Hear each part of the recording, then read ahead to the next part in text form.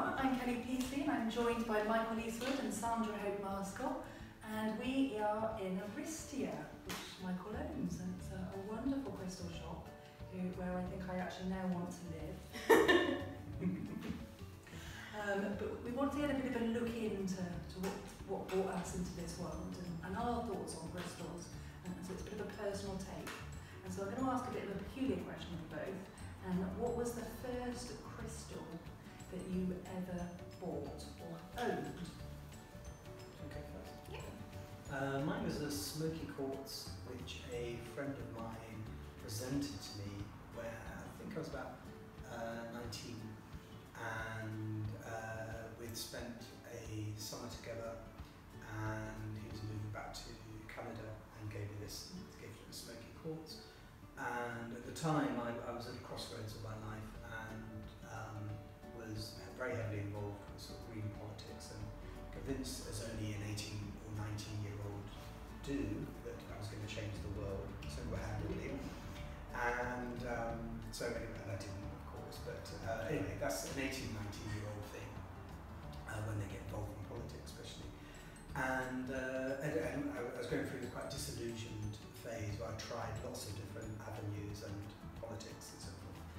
And uh, at this particular time, we both attended a meditation group, and for me, it was a turning point in my life where what I was seeking and um, getting involved with before politics and change um, was meditation. Was the, it was one of those aha things where I thought, this is what I'm looking for. This is what I was seeking. And he presented me this smoky quartz, which I still have, and still reminds me of him. And also that summer together, it was like our little summer of love we had. Were four of us who were on this road to discovery, and the four of us just parted after the summer. And the summer was only actually six weeks, but at that age it seemed like a very, very long summer, as it does when time at that age. And uh, so anyway, I still have that smoky quartz, and it always made sense to me smoky quartz was um, the one of the, those uh, I didn't know this at the time, but one of those crystals which for me is very grounding and stabilizing. And part of my journey uh, in this whole lifetime really has been I've often felt, um, and I did as a child, often felt an outsider and uh, different and strange. And smoky quartz for me unbeknown to me at that time, was about me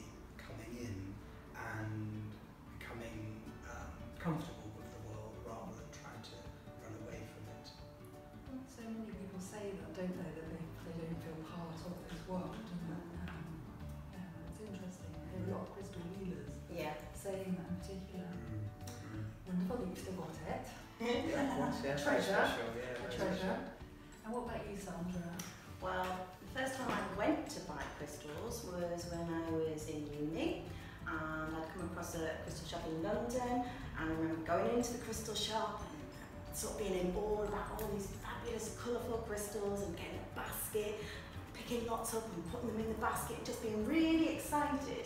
And then I had this sort of voice in my head that said, time's not right, it's not right. And I just knew internally that I or crystals were going to be really, really important to me one day. But I listened to the voice and I put them all back. And then for years, I, I didn't do anything about crystals because I just knew the time wasn't right. But it was always sat there, sort of in the background, sort of shouting, one day, one day, when the time's right, we're going to get you.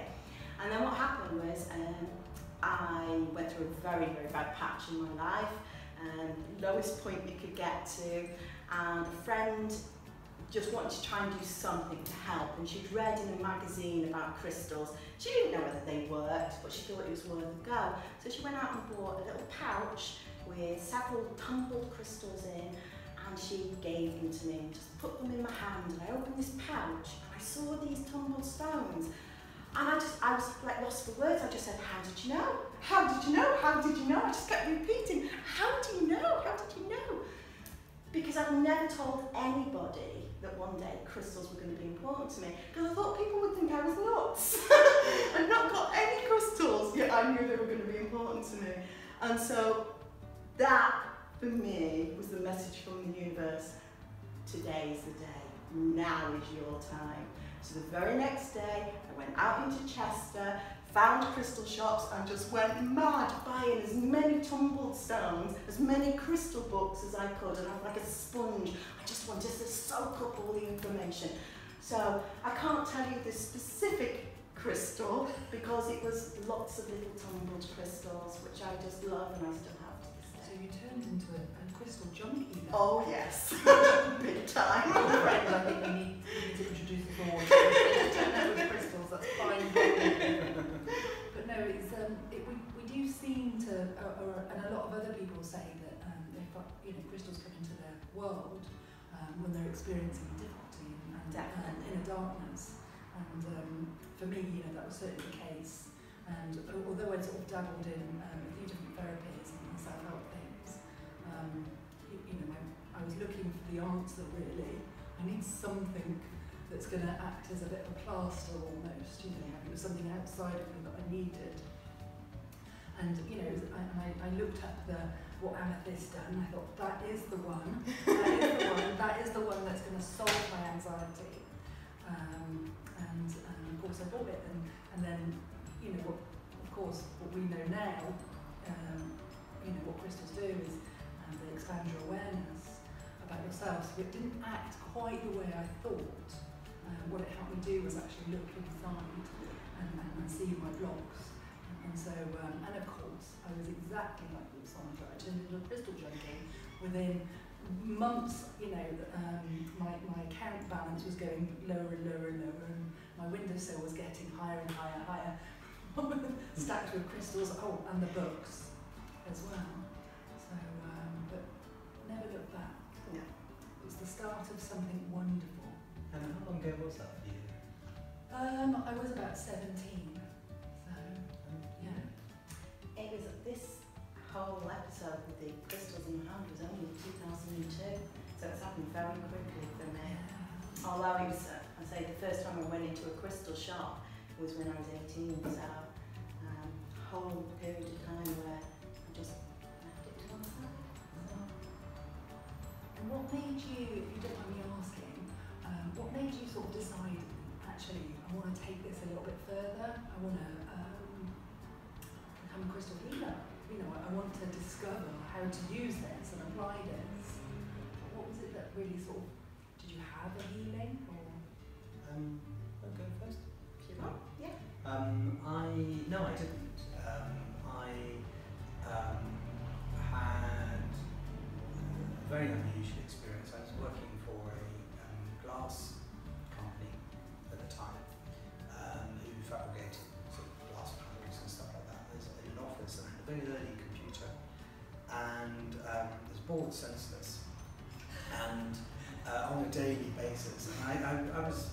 I mean, I think I was about 21 at this point, and I thought, this is this it?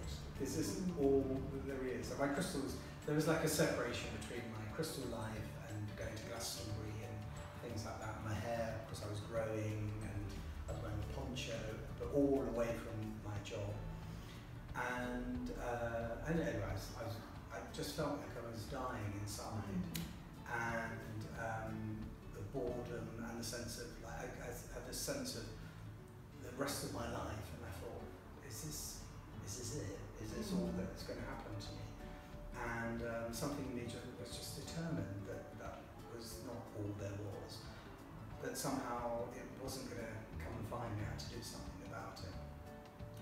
And uh, so it's to tap away on this very early computer, which you sometimes see in the 80s films with like big buttons and stuff like that. And I used to ask these really ask these questions, and um, and I mean it was what I now see it as channeling, but at the time Mm. I, I didn't have a name for it, and I just thought I was typing question. And I, I used to ask why am I here? And I mean I meant like why am I here stuck in this like Yeah. ho- horrible office?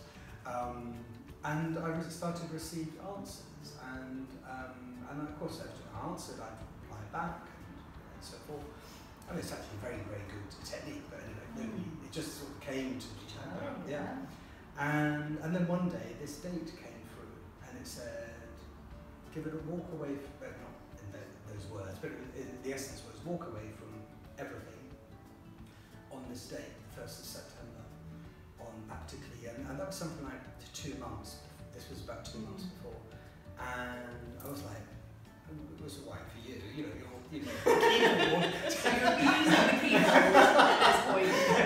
lose my company car, I'm going to lose a regular income, I'm going to lose what, you know, although I don't want this future, this is the little bit of future I've got, you seriously asking me to walk away from it. And, the, you know, the computer was like, yes, you know, blah, blah, blah. So I did. I, I took a leap of faith and I just thought, I'm just going to die. Yeah, I just, you know, I'm going to shrivel. There was, there was something contracting And I just thought, I've got nothing to lose.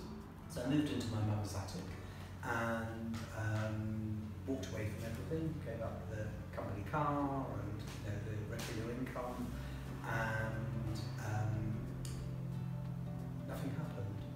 The universe went very quiet, and I was, I was a bit like, well, you know, I've made this deal, and you know, the universe, why is it, you, you know, you haven't given me some, you know, you know, haven't given me any, shown me anything what. And I think for anyone, that's always a struggle when it, when it, you know, the universe goes silent on something. Yeah. Well, it certainly was for me. And uh, one day I was doing some voluntary work for a friend of mine who had a little healing centre called Rainbows. And uh, she was painting the ceiling with stars and I was holding the ladder. And she said, what, what are you going to do? And I said, oh, I don't know. I've, I've got £500, which I saved from work. And I said, I think I'm going to buy a ticket and go to India. Uh, that's just what everyone did in those days. I think I And, uh, actually. yeah. Most people go through that Yes. stage. You either go or Run you know, away. yeah. And uh, and uh, that was my idea. And, and she's just you know she was painting the stars. And she said, crystals. I can see crystals. I said, can you? I've got a few, but um, uh, I, I can't see I can actually do anything And then she got down the ladder and she said, um, I tell you what. Um, here's a, um, a dealer who comes to us and um, my guidance is use that money and um, buy some crystals. So I drove down to Dorset and uh, then they're not there anymore, the wholesalers. Um, Earthworks they're called. A very, very nice couple. And I basically spent £500 just like that, Of course. And Easily really easily done. And um, and I've got pictures at home. And my uh, basic the idea was I would go to little psychic fairs, healing fairs, and I would sell crystals. And uh, the first one I went to, my table was no bigger than this chair, really, considering how many are here now. But um, and there's this picture of me in my my plait and my you know my poncho. sat We the need to see it. We do. I don't show it to anyone. West actually is not that bad. Maybe I'll show it sometime. Um, and uh, at the time, you know, the, my biggest crystal was that big in the centre of the table, and I thought that was huge. Uh, at the time, I had you know a few tumblestones and rose quartz. And the, the oddest thing happened um, before the people had come in. The other traders and psychics, there was mainly people doing readings really, and um, and I knew a few of them. One of them invited me to this fair. They all sort of congregated around the crystals, and, and they were. Um, this is you know, basically they, they bought me everything out before anyone came in. Fantastic. and and a friend of mine was like, you know, th- you know, you, this is what you should be doing. And so it went along. And so my life in, involved with crystals just seemed, I didn't seem to have much choice. And the next thing I knew, um, had a, a shop and, um, after a while I started teaching just from things I was sort of picking up really. And, you know, that, that was um, nearly 30 years ago now. And it, even still, sometimes I think that for a long time I kept thinking that uh, something else would come along, that this crystal healing business was just happening entertainingly while the big thing was going to come along. And it wasn't probably until about 15 years into it that I realised actually I was doing what I was doing. Yeah. But it, it just, because it wasn't something I said I want to be a crystal healer or do or write about it or teach about it, I kept expecting some, this was just a part-time thing while I was working out what I was going to do. It's almost like they spoon feed you, don't Mm. they? Little bit by bit. And, and what I love, you know, what you say is, did, did you choose crystal healing or did crystals choose you? And I always think that crystals actually choose us. Don't Yes? It's like you're the one to bring this out and, and share it with the world. Yeah. And you know, I mean, wow, you two really do, you know, share it with the world. You know, where you've come from. Um, but yeah, they told you that, say, however long ago that was, what would you have done? Uh, I, I, don't, I don't think I could have imagined that. I at the time, um, no, I, I wouldn't have believed Yeah. And you probably had such a, a sort of vast, you know, many different experiences Yes, in, yeah. in, in sort of weaving around the crystal world, you know, selling and. Well, I, I think it's also sort of past, personally, I think it's sort of Mm. past life um, experience as well, which Ah. Um, and for me, it was just when I, you know, when I got involved and started, Crystal Healing was just starting to appear in magazines, and there was, I think, on my, I remember my dad ringing me and saying they were talking about crystals in early morning TV, um, and and something happened about when I got involved in the field. It was just about to take something. I was just in the right place at the right time, and I'm, I really know that my my being just certain things aligned around me. If, if I had come into this field 40 years ago, the same things just would not have happened. Yeah. The, the world, society wasn't ready, and the collective awakening which we're experiencing now, well, I, was, I came in just on the cusp of that, about to explode, and, and I just feel really fortunate for that. But I would have, if anyone said that was going to happen, I, I wouldn't have believed them. I think I might have run. What about you? I think I might have run. How, Um, how did you sort of, how did you get into Java crystal healing or? no, um, No. I actually didn't believe that crystals Oh. could heal. Dun, dun, dun. but I was fascinated by the old wives' tales, like malachite was the midwife's stone and mm-hmm. citrine was the stone of abundance. So I, I loved reading about it. But I thought, that's a load of nonsense. There's no way a pretty stone can help your arthritis. I, I just didn't believe it, mm-hmm. okay? But I still knew that crystals were going to play a huge part in my life and I'd have this enormous collection. So um, I just, I went with the flow, I just kept buying them. And what happened was I started to get better in myself. And my parents saw this remarkable change in me, and it was down to the crystals. And they didn't believe that crystals could heal either. It was obviously because I had this new interest, this new focus. So I was being picked up. And so they wanted to support it. And my mum had seen an advert for some work, crystal healing workshops in um, a, a local paper. So she basically paid for me and her to go on it, even though neither of us believed it. But we just thought, well, I just I wanted to learn more about crystals. And it was whilst I was on the workshop, I was thinking, actually, I really love this. Um, at that time, I'd never meditated before. Everything was new to me, but it was like I couldn't get enough of it. It was a magical, magical time. Um, and then the, the particular lady that was running the workshop said that she was going to be doing a, a 10 week course to qualify you as a crystal healer. Um, I couldn't afford it, but my mum said, you know what, you've enjoyed this so much, I'm going to pay for you to go on it. So she did. So I went on this course, still not convinced, not convinced, and I wasn't, I wasn't sensitive either. So nowadays, when students come to me and they say, "But I can't feel it," you know, I'm dead jealous. Everyone else can feel it. I say, "Neither could I at the beginning. I can now, but I couldn't then." Um, so I started on this course, and it was about halfway through. My daughter, who was only young at the time, a little child, she's usually very hyperactive and oh, into mischief. And she came into me this one day and she just put her head on my shoulder and she said, Mum, I don't feel well. And she had bright red cheeks. And I sort of looked at her and I said, Do you want me to do a crystal healing treatment on you? bit tongue in cheek. I just I'd give her a bit of attention. And she lay down on the sofa and I did a very basic chakra healing treatment on her and just sort of sat with her. And as I was sat with her, I watched these bright red cheeks fade to normal colour. And after about 10 minutes, she just looked at me and she said, Can I go out and play now?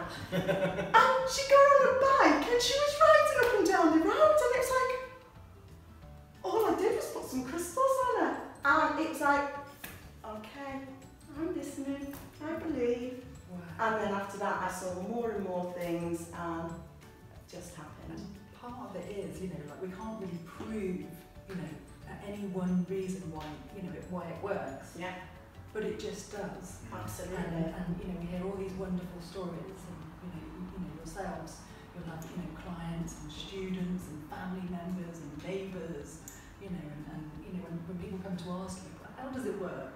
You know, you can sort of suggest many different ideas how it possibly does. But really, have to feel Yeah, it absolutely. themselves. And that's why I don't mind when you get someone who's really sort of sceptical now. Yeah. Because I was myself.